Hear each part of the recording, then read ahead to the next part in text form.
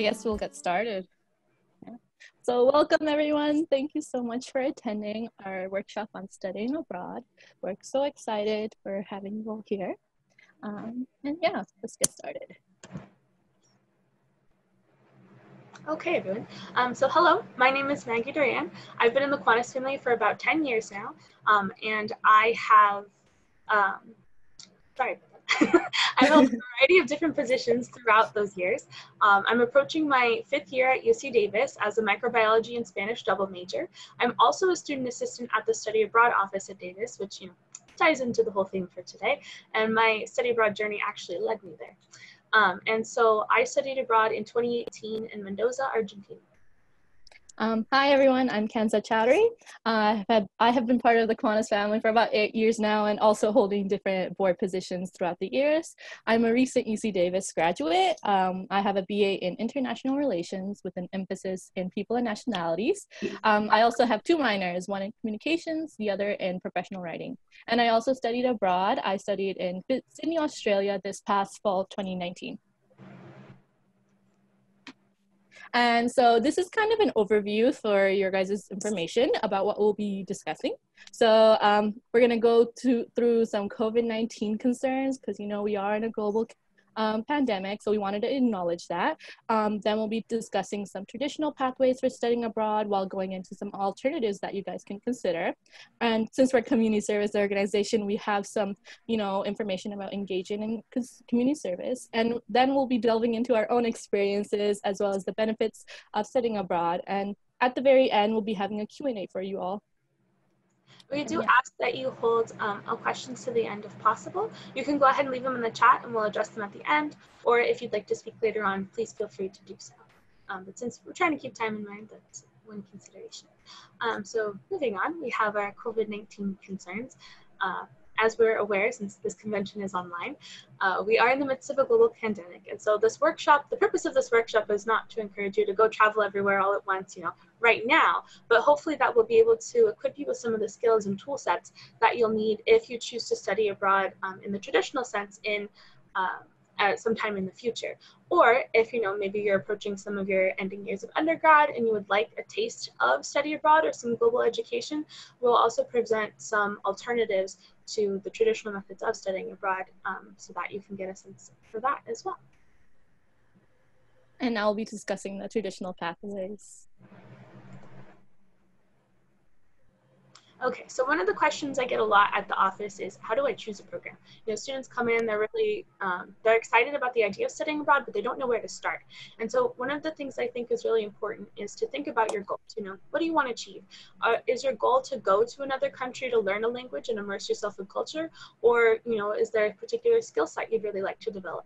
Maybe, you know, you really, um, have like a particular health internship in mind that you're interested in engaging in in another country. Uh, or you want to try something completely different. You know, we have uh, STEM majors who have tried our Design in Japan program just because they're interested in, you know, experiencing another part of the world, but, you know, with something completely different that they're not used to.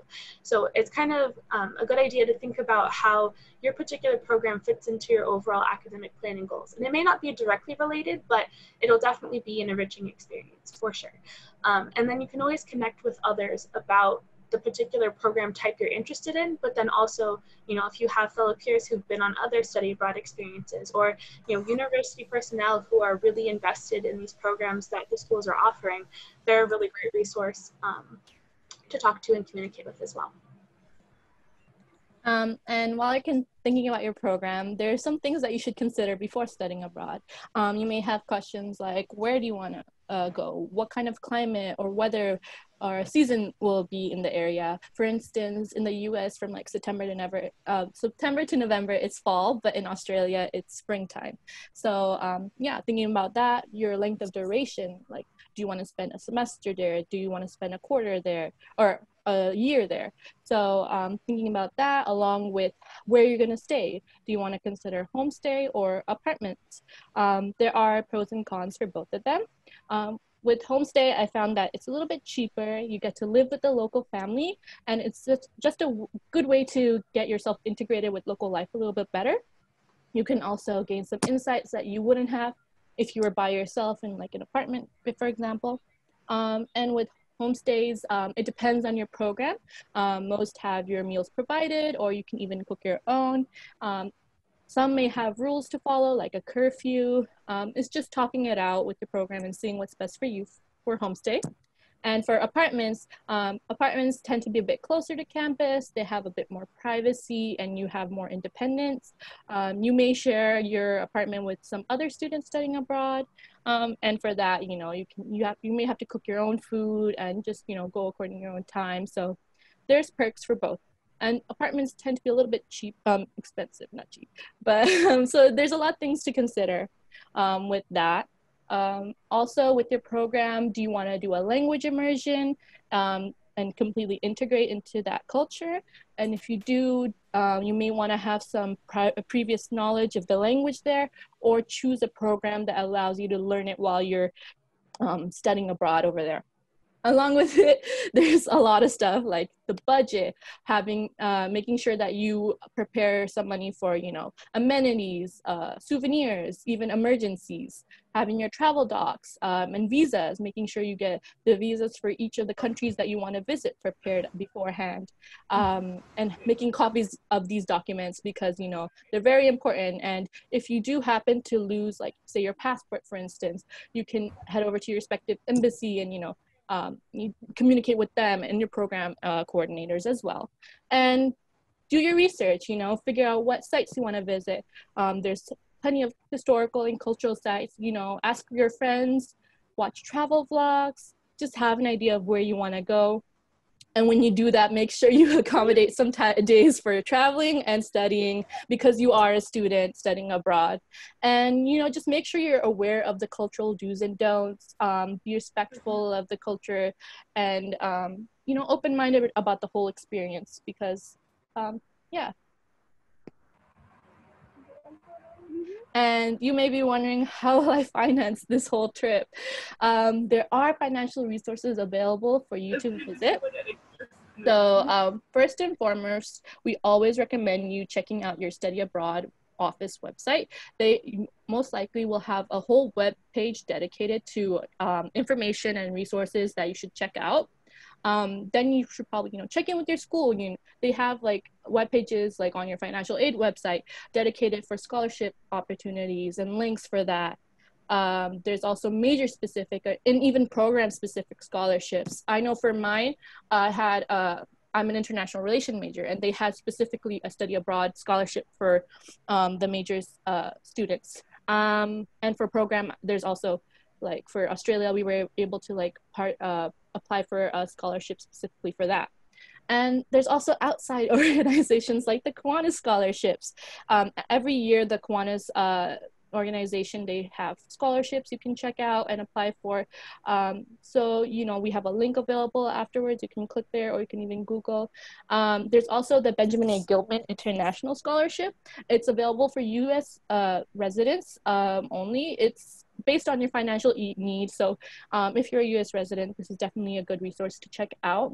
And one thing to keep in mind with some of these scholarship opportunities is that they may require you to fill out an application or do like statement of purpose essays.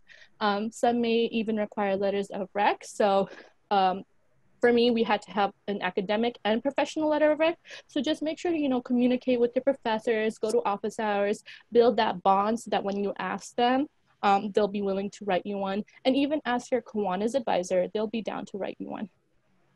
Definitely a lot of great advice.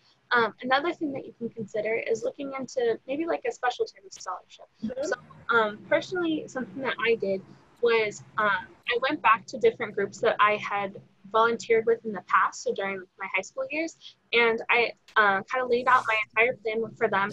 And I said, you know, I'm interested in doing this thing for these reasons, and I'm also raising funds in these different ways. Would you be able to consider some sort of special scholarship to help me achieve my study abroad dreams?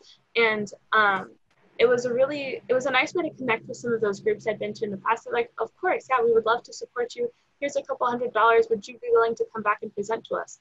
Of course, I love talking about study. Um, but so that was like a really, it was a unique way, but it was also difficult because I found it hard to ask for money. So taking that step is definitely challenging, but more often than not, these are people who want to see you succeed and want to help you. And so they're more than willing to invest some money in you for a better and brighter future.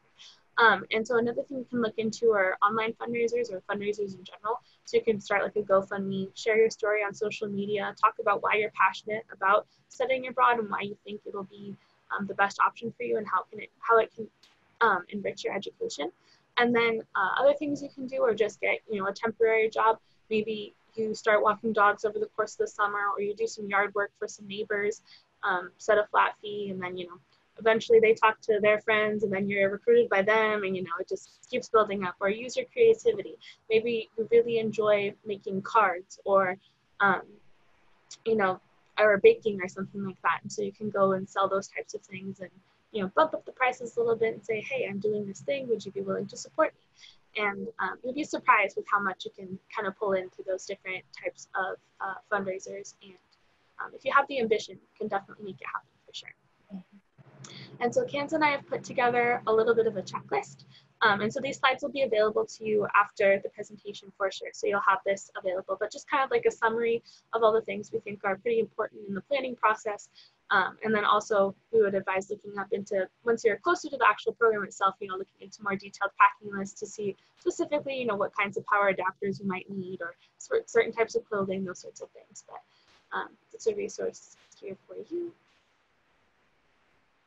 And here's like a snippet of inspiration. Um, make sure to travel everywhere that you can and capture the moments because you know they'll last you a lifetime. And here's a photo of Bondi Beach that I was able to take on my first day there. So beautiful. And now we'll be discussing some of the alternatives that you can consider. So considering that we're in a global pandemic, studying abroad physically is not necessarily the best option right now. So we have provided two alternatives for you guys to consider. One is virtual learning and the other is domestic programs. So with virtual learning, it's basically, you know, having an online experience, um, kind of doing like Zoom calls with um, uh, at a school in a different country. So many institutions are now transitioning um, their education abroad programs to a virtual online format during this pandemic. And you can check in with your study abroad office to see what programs are available and what um, just get more information about um, your options uh, that are available for you.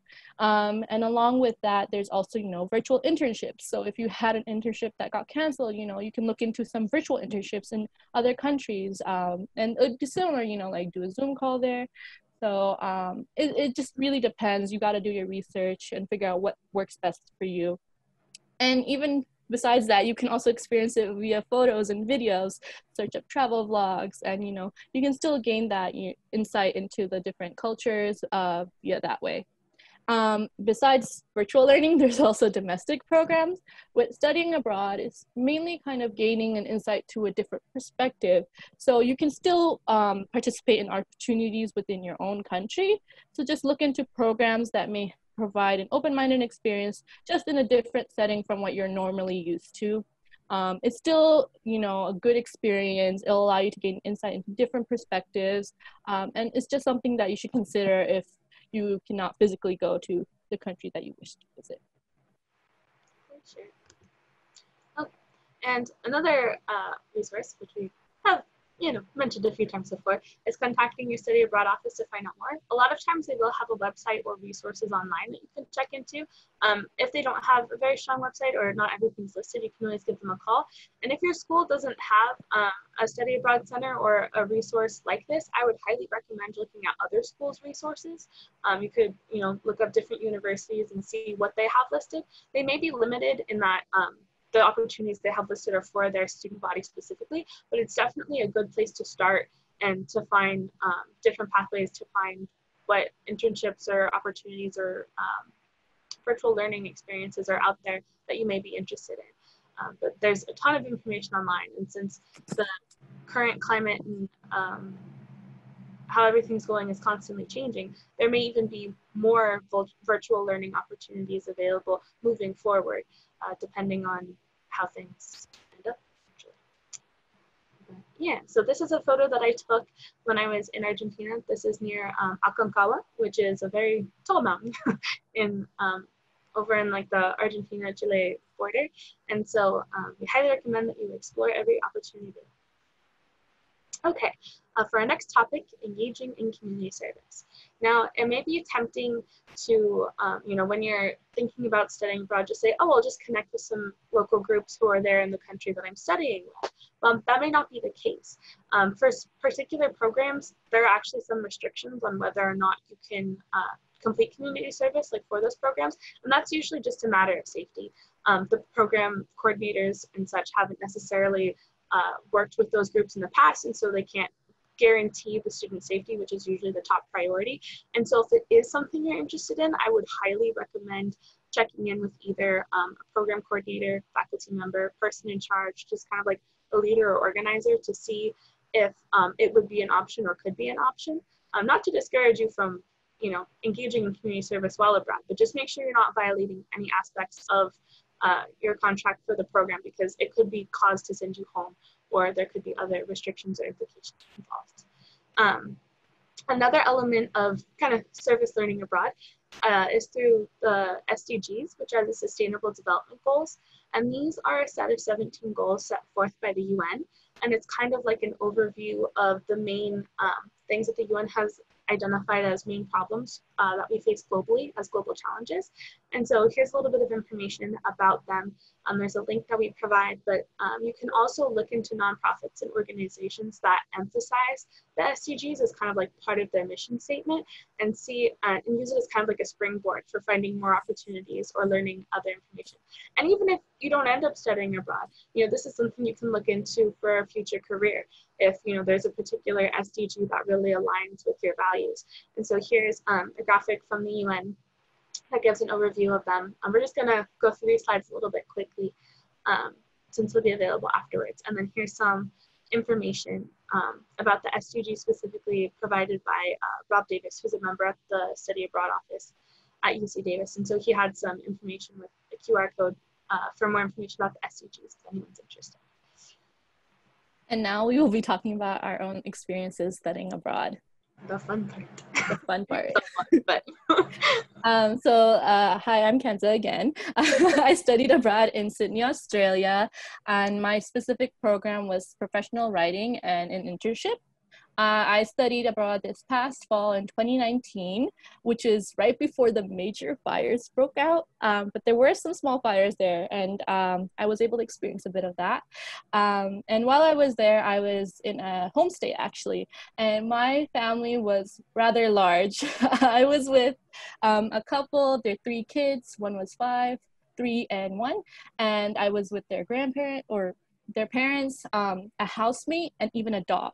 So it was pretty packed, um, but I had my own room, and it was really um, a good experience for me because they had a lot of recommendations.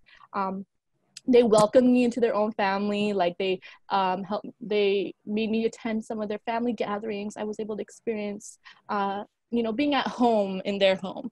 Uh, uh, while I was there, uh, I participated in the UC Davis faculty-led programs. So I was with uh, like 12 or 11 other UC Davis students, and we basically studied together just in um, a, a Sydney School. So one of the universities there, we had a room and we studied there.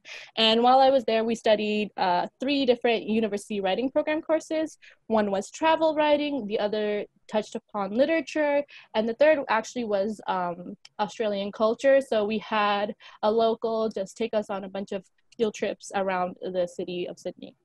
And um, most of these writing courses, they complemented my travel experience and we were able to do like travel journals every week. And I'm so happy because now I have those memories written down for me to refer back to um, whenever I want. And that's because I forgot to do a travel journal while I was there for myself. Um, but this was really beneficial for me because I was able to fulfill a majority of my professional writing my, uh, minor requirements. And while I was there, I also participated in an internship at Action Aid Australia, which is a nonprofit organization that helps uh, fight, helps women fight against injustices. I was able to gain uh, around 200 plus hours uh, working there and it allowed me to gain an insight into the Australian work life. Um, we found out that you know businesses close around 5 p.m., which is which is normal for here, but like everything closes around 5 p.m. So um, and some restaurants may be open, but I had to get used to the idea of starting my day early and ending it a bit earlier than when I was used to. And um, along with that, like uh, I was able to take some side trips. I went to Cairns up in Queensland and um, also see the Great Barrier Reef. And I was also able to visit Queenstown, New Zealand. So this is some of what I did while I was abroad. And I went to a lot of beaches, as you can see. Um, so these are some photos of, you know, some Sydney snapshots. Um, well, the first day I was there, like after orientation, um, me and my friends, we decided to take like the ferry down and explore Sydney for what it was. And one of the first things we saw was the Opera House. That is literally what Australia means to me. so I was so excited to visit there.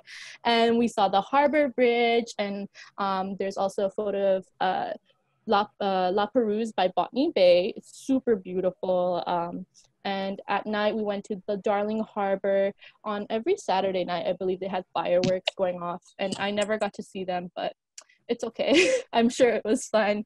Um, but yeah, so this was like Sydney for me. And then moving on, um, the program that I participated in had a lot of um, excursions built into it. So every weekend was booked for us to do something. Uh, one of the first things that we did was we went on a trip to Featherdale Park, which is like a wildlife preserve where they had like some cute animals like kangaroos. It took me so many shots, but I finally got a photo with the kangaroo over there.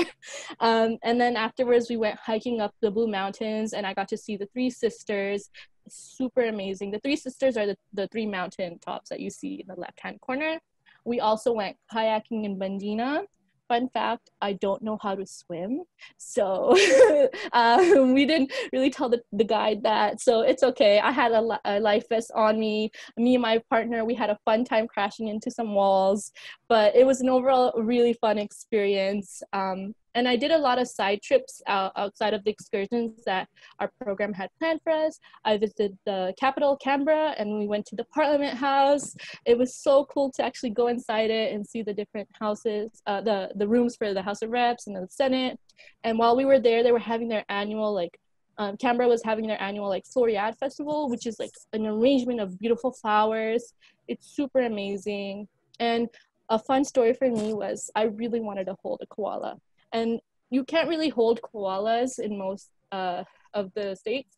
Um, we went to when we went to Cairns, which is like the Florida of Australia for me. Um, this was like two hours before our flight. We took a Skyrail up to Kuranda, and we were just exploring, and we found out there was koalas. And we got there, and uh, they had a koala holding experience for 30 minutes only. Koalas can be only held 30 days, and specifically that individual koala can only work three days in a row and then they have to be given rest because you know they sleep for a long time.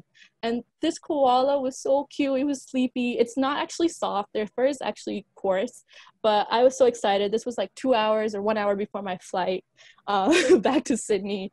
So yeah i did a lot of traveling. Anytime any weekend that was free i was out exploring. And um, like I mentioned, one of my side trips was to Cairns. Cairns is the Florida Australia because it's very humid and there's a lot of gators there. But I didn't really see any gators, which is perfectly okay with me. Um, we had uh, three days while we were there, and the first day we went on this rainforest waterfall tour. We went up to, I believe it's called the Atherton Tablelands, this rainforest with, and um, they had a bunch of waterfalls. So in the middle, you can see Josephine Waterfalls. It's like this waterfall slide, and you could like go up and like slide down. I couldn't participate because I don't know how to swim, but it was super fun watching everybody have a, a, blast, and I was able to take cool photos. There's also Millaa Millaa Falls, which is really um, iconic. And on the second day, we actually went on a snorkeling tour. So I was super afraid to go snorkeling. Um, but you know my friends convinced me. They said i would be in perfectly good hands and i was. I had a life vest. I had a pool noodle. I was holding onto a lifesaver. There was even a guide who was leading me. So all i had to do was kick and enjoy the whole experience. And we were able to see a bunch of sea creatures. Um, i didn't see any nemos but it was okay. Or clownfish but it was okay. I saw him in the aquarium. Um, we did see some coral but it wasn't as vibrant as you would think. There was a lot of you know coral bleaching happening. So because of the rising temperatures of water, you know, the coral are dying off. But my friend was able to get a cool shot of this very vibrant pink coral. Um, but it was really fun experience. And while I was traveling, I was also studying. I was also working. and while I was working, I was um, working for ActionAid Australia. And um, it's a movement of women standing to claim their human rights and campaigning against injustice. And as you can see, they had three main objectives, which is economic justice for women, women's right in emergencies, and climate justice for women. So while I was there, I was actually a communications intern, and one of my major projects was helping with their annual comedy show called Frocking Hilarious. Um, it's a comedy show with all women lineup, and they raise um, funds for you know helping women in Action Australia out. Um, it was super cool. I was able to call a bunch of sponsorships. I booked like a hot air balloon flight for some lucky winners. Um, and it was like in Melbourne, so I wasn't able to go, but it was it was really fun helping to you know uh, make this event happen.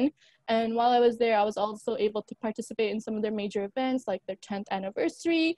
Um, and it was overall really amazing experience. And I learned something cool there that I want to share with you all. It's called the power clap of the Vanuatu woman.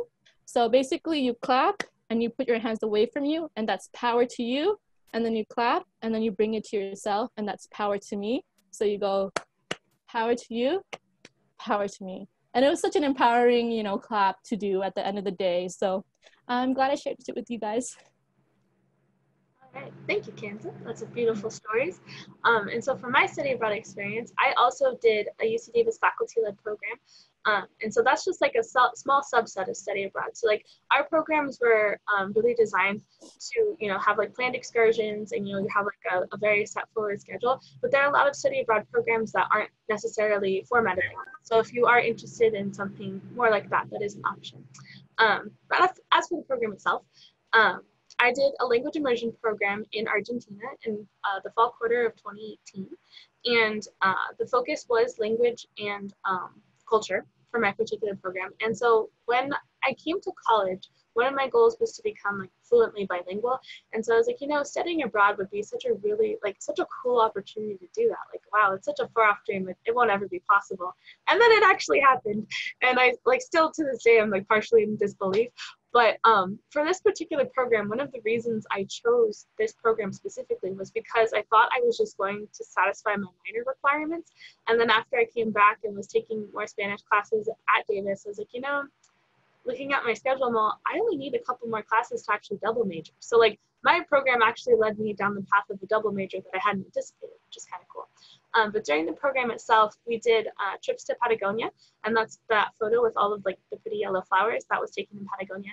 And then Aconcagua, which is, we didn't actually climb Aconcagua because that's like a huge mountain, but um, the snowy regions, then so that like that bottom right-hand uh, picture was from that hike. And then um, we took side trips, or a group of my friends and I took a side trip to Chile. And then after the program was over, I went to Iguazu Falls and Concepcion del Uruguay by myself, actually, which was kind of like nerve wracking and crazy because I'm definitely not that kind of person, or at least before the program started, I never envisioned myself as that kind of person. And so the program really helped bolster my confidence in the Spanish language, which was really cool because the majority of my Spanish just consists of, you know, what I've learned in school. And so um, when I went on this program, I was in the advanced level, which is the third level. And so um, my homestay, within my homestay, I um, I had it was just my host mom. She had uh, children, but they weren't living at home at the time, and so um, it was mostly like her and I through the majority of the of the program. But she didn't know any English, and so it really helped put me outside of my comfort zone, and I learned to become uncomfortable or comfortable with the uncomfortable. Uh, there was a lot of smiling and nodding, though, that's for sure. um, but yeah, and then that sort of the waterfall down there, that's, that was taken at Iguazu Falls. Um, and so I took lots of photos of food. Um, and so this quote over on the side was from a restaurant that I visited, I believe when I was in Chile. Um, and it says, disfruta, come y bebe, que la vida es breve, which basically means like eat, drink, and enjoy life like it's short, which I really enjoy. I thought that was like a nice kind of summation of what I hold true. Um, but one of the really big things about Argentina is asado, our barbecue. And so like I have a couple pictures of that. Um, one of the interesting things about my program specifically is that, um, so my host mom was vegetarian and I personally can't eat gluten or dairy. So like that definitely was like the navigating those dietary challenges, which I thought like could present an issue actually ended up not being too much of an issue, which was really nice. So um, studying abroad if you have dietary restrictions is possible. Um, and so here's a few photos from like the, the area that I actually lived in. The cats, those were the cats that lived at my homestay. And then this middle photo with the mural, that's actually right outside my host mom's house. And so um, that was, those symbols are, are from her organization. She's a profesora de biodanza, which is professor of biodance. And essentially, it's like therapy through movement and music. And so her studio is right next door to her house. So even though I was like an only child. We had so many people coming through our home and like I got to meet so many different kinds of people that it was a really enriching, enriching and cool experience because I think I met people from Egypt, other people from Chile. Like there was a lot of um, diversity that I was exposed to, which was really cool. And um, so within the first couple of days I was there, she's like, "Hey, you want to help me with this mural?" And I was like, "Sure, why not?" So um, it was cool to have like a hands-on project that I was really focused on for the first few days and kind of get my footing a little bit and have something um, to focus on while I was adjusting to all my new surroundings. And then um, the photo all the way over to the right is a vessel for yerba mate. And so that's a very um, common South American drink. Essentially, you put a bunch of um, crushed tea leaves into the vessel itself and then fill it with hot water. And then the straw is filtered so that you know, you're not sucking up tea leaves all the time. But essentially, like someone will have like the yerba and then um, like we'll pass pass it around from person to person. And so like it's a very communal communal cultural bonding sort of thing. So like when you know you're sitting with your host family just passing around mate, like it's a really it's a really cool, unique experience, and it really helps me feel like part of the culture there. And so that's something that I personally really love a lot, and will always carry with me, which is really cool. Um, and so these are photos from uh, Mendoza itself. And so this bottom corner um, to the left are, is a, a, photo that I took right outside the gates to um, the university that I was studying at. And so at that particular um, university, I was taking four classes and then like two units of um, like a, an additional kind of like reflection course. And so I took uh, one class that was focused on culture, another class focused on cinema, one that was on literature, and then a final one that had uh, a linguistics emphasis. And so we had class four days a week, and then um, on Fridays, a lot of times those would overlap with like our excursions and things, so we didn't have um, class those particular days. I wrote a ton of essays. I think that's one of like the coolest things that I can, um, for my study abroad experience academically, is that I can actually like track my progress and see how my language skills changed during that time. Just looking at like, you know, the first essay I wrote to the last essay I wrote while abroad. And um, an even cooler marker. So I originally registered for an upper division Spanish class the spring before I left for my trip. I sat down in the class and was like, okay, I don't really know what my professor's talking about, and I can't do any of these readings because I don't understand what I'm reading. So I think I'm going to wait to do this until after I come back. And so then I did my study abroad program, came back the following spring, registered for the same class with the same instructor, same readings, you know, everything. And sat down in class. First day, I was like, wow, a year ago versus now, this is insane. Like I understood everything he was saying. I could do the readings just fine. Like it, the class went from extremely difficult to like, okay, this is definitely manageable.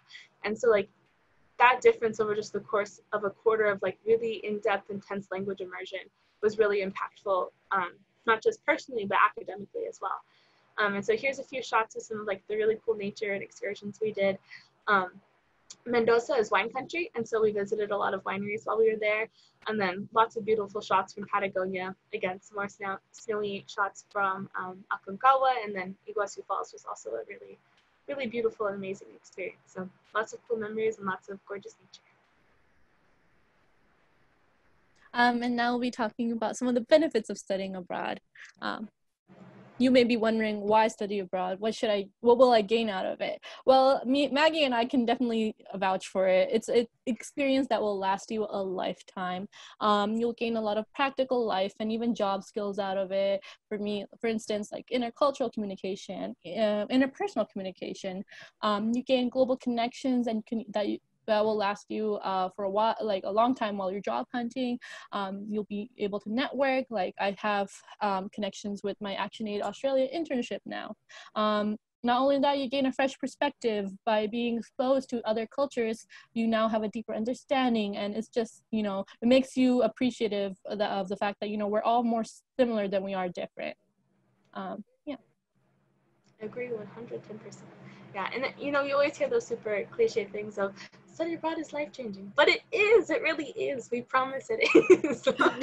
Ultimately, the experience is what you make of it for yourself. And so, if you you know invest yourself in the experience, you take risks, reasonable risks, not crazy risks. We don't want you to end up in the hospital, um, but you know those kinds of things to like push yourself self and challenge yourself you will see those personal changes and growth and it's it's really cool to be able to to have those experiences um, and so Kanza and I both think that you know it's really important to have a global mindset especially in the the nature of today's society. We are so interconnected with people from all over the world and um, we are a global community of people. And so the challenges that one group faces you know even if it's on the other side of the country are collectively essentially all of our problems as well.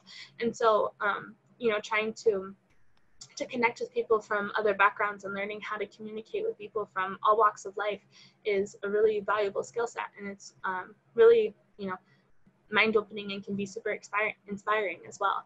Um, and you know, from a practical standpoint, a lot of times employers will look for those kinds of unique experiences in order to select you out as a candidate and say, okay, well, yes, this person may have this, this, this in experience, but you know, this individual actually went to the country and dealt with the problems that they said they wanted to tackle, or you know, this person has connected with people from this region and they're known for you know this particular process for this machinery and so like i think they would be a better candidate for the position um, there's a lot of a lot of tie-ins and a lot of um, connections that way so definitely um, very practical as well as you know, inspirational motivational but um, Kanza and I both believe that one should not feel limited when obtaining a global education.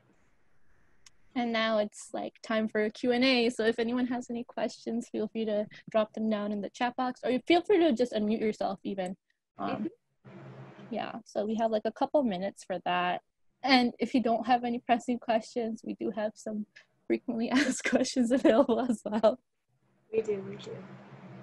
So we'll just give like a minute for everyone to, you know, digest, absorb digest. all the information we've given them. we know it went kind of fast, but um, you know, fun fact, you know, some of those photos there, um, that's actually in the middle and the bottom one. That's New Zealand. I wasn't able to include New Zealand other slides, but that was pretty cool too. Anything on studying abroad for master's program? Ooh, that's a great question. I don't know um, specific like programs like in particular, but um, if you're interested in studying abroad for a master's program, you might want to connect with like the school that you're studying at or interested in studying at to see if they have options for furthering your education past undergrad. They might have like a specific program or um, an internship or something that is available. I'm I, I can't guarantee, but I'm almost 100% sure that um, that those programs are out there and available. They might be really specific, um, but depending on what your focus is, I think you should be able to find something. And then Olivia asked, did you have did you guys have a country in mind when looking for study abroad programs? Well, personally for me, uh, I was open to whatever fit my like major requirements because studying abroad like well actually i could study anywhere. For me it was just getting 10 weeks abroad. Um, but i wanted to find a program that actually was something like had courses that i would be interested in and that would like um, support like my education overall. And for me like my parents um, it was hard convincing them to let me go abroad. And so my mom was like you have to choose either england or australia because she has some uh, cousins over there that i never met but I was like, you know what? I, am gonna actually go with Australia because um, I really wanted to visit it. And the program, the minor, um, there were so many benefits. The internship, it was like, okay, the whole package was amazing for me. And I was also able to connect with some family members that I only heard about. And now I have a cool bond, like a strong bond with them. And then um, for my particular case, so I knew that I wanted to do a language immersion program, and I'd never been out of the country before, so I definitely wanted something more structured, you know, with people I could trust. And um, the faculty member that went on that, that leads my program, she's actually been doing this program for years and years and years and is originally from Argentina. So that was like a, a bit of comfort for me personally and my parents for sure. Um, but for my my goals and my ambitions there were actually only two programs that i could do that were really like language immersion focused. And um, one was in spain during spring quarter and one was in fall in argentina. And since i was completing the minor at the time the Argentina program was the one that was recommended if you were going for minor purposes. And so I went on that particular program mostly out of academic reasons. And then, you know, meeting with program uh, with my academic advisors and such, they were like, yeah, this will work well with your schedule. And so it was kind of like process of elimination really, because I had, I really wanted to go to Spain. I was like, you know, I really want to, to spend time in Spain. Like, I think that'd be really cool. Like, but ultimately, I'm really, really, really glad that I ended up going to Argentina and that that was, you know, the way my path ended up leading me to because it was amazing. Um, Kylie asked, did you guys stay in touch with CKI during your time sitting abroad? Fun fact, I was actually the Kiwanis family chair that year. So, and uh, me and my partner, we stayed in touch and I was uh, still partaking in my positions while abroad. We actually had a key to college the weekend, right? Like the first weekend I was there, so I called in to make sure everything was running smoothly, and I kept in touch, made sure um, to, you know participate whenever I can during board meetings. um, um, but yeah, it's it's easy to stay in touch. Like on Facebook, you know, the time difference didn't really matter much because my friends are always up really late, so it worked out. And I know some uh, Krishma said. Um, uh, were there any accommodations for conditions like food allergies? Would you have to work it out prior? Maggie? Yeah, definitely. Um, that's a great question, Karishma. Um, so yes, definitely something to consult with the, the program coordinators or individuals who are in charge of the program before departing. Um, usually the process is that like they'll send out a questionnaire with kind of like, do you have any food allergies or restrictions or considerations we should keep in mind? And more often than not, they're able to accommodate um, or make special considerations. Like I know because I let them know about my circumstances beforehand, sometimes they would bring um, like gluten-free items on certain excursions, like when we were all mm-hmm. together as a group, or make sure that I had something um, that was available. If you have like really severe food allergies, I'm sure that those can be accommodated for as well, just as well, just as long as that line of communication is open and those who are, you know, in charge of in charge of essentially are aware of um, the circumstances. Um, Alicia asked, do you know a website where non-US residents can apply for scholarships to study abroad? Unfortunately, I don't think we have any links in our particular presentation with that, but I'm sure if you look into um, your study abroad office, they'll probably have links for scholarships available that you can check out. It's looking into the requirements actually. I know there's a bunch of scholarships that, you know, you have to be specifically US resident or, or wherever you're from, uh, residents from there. Um, but yeah, I don't know. Maggie, do you have any? Yeah, I don't know of any websites in particular, but I'm sure if you did like some thorough Google searches on um, you know, scholarships for study abroad, non-U.S. resident, that you could get a few web pages up, even if um, it wasn't through like, your school in particular. There should yeah, be something out there. Yeah, one of the major first things I did was Google scholarships. Um, uh, Moninder asked, how was the visa process? Was it difficult or fairly easy to get one? Um, for me, I um, the study abroad office coordinators, they actually sent me the link to where I was supposed to get the visa. It was specifically like a student visa that you had to apply for for a couple of months. I was freaking out because I got the mail was in my spam. So I found out about it like a month later. But I applied, it was asking a bunch of questions and there was a small fee. Um, but I got the notification that my visa was approved like 10 minutes later. So, but it honestly depends on your specific um, situation because um, someone I know thought they finished their visa, but it wasn't approved, and they got to the airport. They got to um, LAX, which is in LA, um, and they were rejected. So they weren't able to go to the program, unfortunately. So making sure that your visas are approved ahead of time is um, important. And it's somewhat easy for some countries because when I applied for the visa for New Zealand, I re- I literally applied like three days before my flight. So um, I would I would recommend like a a longer you know time beforehand, but um, just making sure you have all of that approved ahead of time because they will ask for it. And some of them are like e visas, so you may not have it physically stamped on your passport, but you have it of like they when you um, check in, they, it will notify the um, airport or airline. Looks like we're about out of time, so here's yeah. our slide. Just real quick, give thanks to um, yeah. the different resources we accessed during our presentation. And thank you all so much for being present today. Um, we really love talking about this topic. And if you have any questions at all, please feel free to reach out to either of us through email. We'd be more than happy to discuss things further. Thank you so much, everyone. We really appreciate it. Thank you. Have a great rest of your convention and wonderful rest of your day. Wonderful.